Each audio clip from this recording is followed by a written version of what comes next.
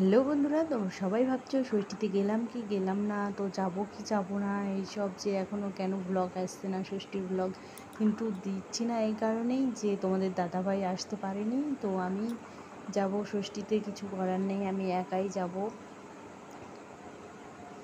আর তোমাদের দাদাভাই আসেনি বলে একটু মন খারাপ, এই কারণে আমি সেরকমভাবে ব্লগ করছি না। যে আসবে না কেন? আসতে পারল না, ছুটি পেল না মানে খুবই মনটা খারাপ হয়ে গেছে।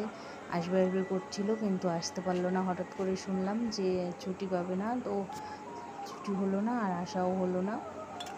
কিছু করার নেই, আমি একাই যাব ষষ্ঠীতে। তো চলো দেখতে থাকো, তাড়াতাড়ি করে রান্নাবান্না সেরে আজকে রান্না করব বাটা মাছ। তো আলু, ঝিঙে, ডাটা দিয়ে করব। বাটা মাছ রান্নাটা আজকে। সবজি সব কাটা ধোয়া কমপ্লিট মা এদিকে মাছ কেটে দিয়ে চলে গেছে। আর রান্নাটা আমি করব।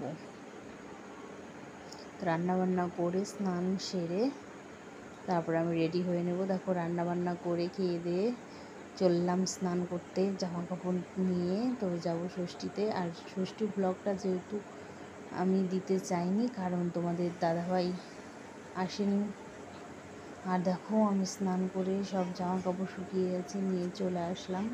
ওদিকে মেয়ে রেডি হয়ে বসে আছে মেয়েকে স্নান করাবো। দেখো মেয়ে একদম সাবান টাবান নিয়ে রেডি স্নান করবে।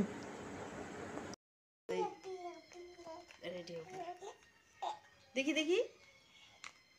সাবানটা কি করছ? হব্বল কব্বা। আর এদিকে দেখো ব্যাগপত্র গোছানো কমপ্লিট তো আমরা দুজনেই যাচ্ছি, মা, মেয়ে, ষষ্ঠীতে যেহেতু ওর বাবা আসেনি, তো কিছু মন খারাপ করে লাভ নেই আর। তো তাইতেই আমরা দুজনেই যাব ষষ্ঠীতে, যেহেতু সব কেনাকাটা কমপ্লিট হয়ে গেছে। আর আগে থাকতে যেতে চেয়েছি, কী করব? কিন্তু এর মধ্যে আসতে পারল না, আমরা দুজনেই যাই। জামা ষষ্ঠী না করে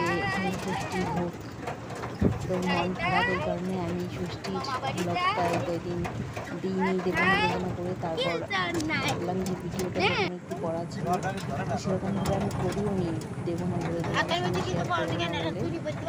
তো যেটুকু করেছিলাম, সেটুকুই তোমাদের সঙ্গে শেয়ার করলাম।